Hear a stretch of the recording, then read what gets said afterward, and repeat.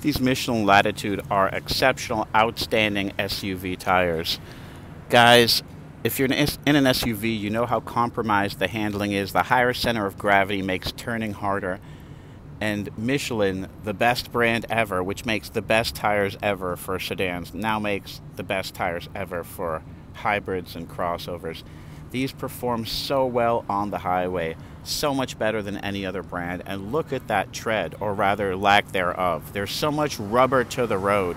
We've had these for about 15,000 miles, and they perform so well because they're really shaped both in the tread and in the overall shape like racing tires, somewhat, while still having enough cushion to keep your family not bouncing around in the back seat.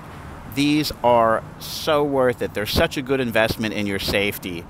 If you have to brake on the highway last second, which we all do, if you have to accelerate and turn last minute from some irresponsible driver who's not paying attention, that's why you get Michelin's. They're the best brand, the best technology, the best tires you can get. And these Latitudes, specifically designed for SUVs, oh my gosh, they just make your SUV feel like a high performance foreign car. They make turning and everything else just so effortless. They're so specifically designed for that for an SUV. It's just excellent excellent technology and these are the tires you should get if you have an SUV guys. Definitely get them.